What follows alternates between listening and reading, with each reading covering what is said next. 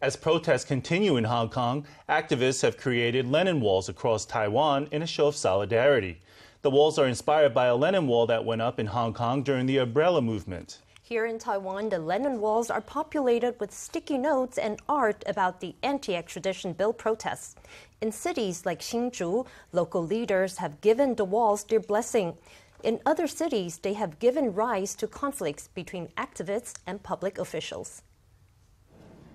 This underpass in Taichung has been converted into a Lennon wall in support of Hong Kong's protesters. Sticky notes cover the surface and more are added by the day.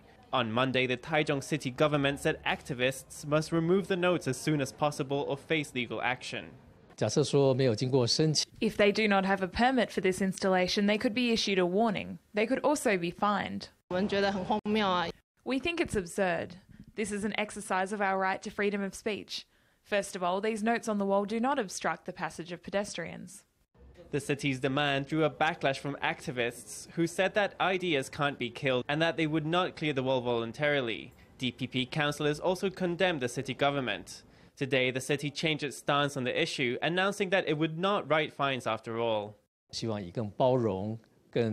We hope this Lennon wall will be seen with a more tolerant and appropriate mindset.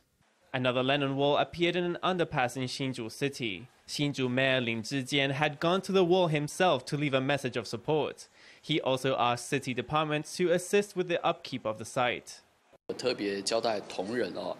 I've made a point of telling my colleagues that damage to the wall won't be permitted and that we should help with the maintenance of the space.